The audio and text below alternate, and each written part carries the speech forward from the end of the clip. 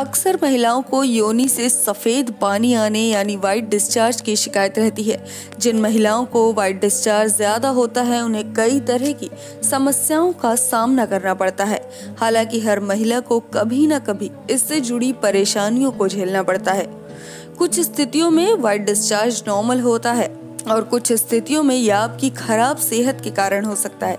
तो आइए जानते हैं कब और किन स्थितियों में नॉर्मल होता है वाइट डिस्चार्ज बता दें, आमतौर पर गर्ल्स को वाइट डिस्चार्ज उनके पहले मासिक धर्म के बाद से शुरू हो जाता है और यह फिर हर महीने पीरियड्स के पहले और बाद में हो तो सामान्य माना जाता है।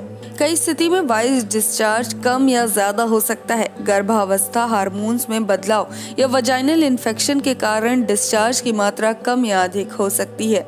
अधिकतर महिलाओं को पीरियड सर्कल के दौरान कई प्रकार का वाइट डिस्चार्ज होता है। बता दें, इसके अलावा वाइट डिस्चार्ज यदि सही नहीं है तो कई बार ये इन्फेक्शन के कारण भी होता है। इस समय यह मात्रा में अधिक और स्मेल वाला हो सकता है। इस कारण गर्ल्स को वजाइना में खुजली और जलन की समस्या हो सकती है। ये यीस्ट इन्फेक्शन भी हो सकता है या किसी बड़ी बीमारी का संकेत भी।